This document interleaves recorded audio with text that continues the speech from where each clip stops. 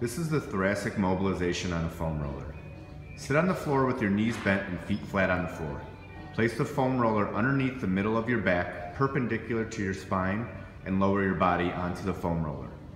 Clasp your hands together behind your head with your elbows tucked in to support your neck.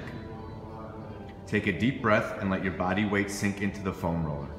Extend your upper body backward over the foam roller 5 to 10 repetitions, keeping your backside and feet flat on the ground. Move the foam roller up your spine 2 inches to a new location and repeat. Perform this for 3 to 5 minutes.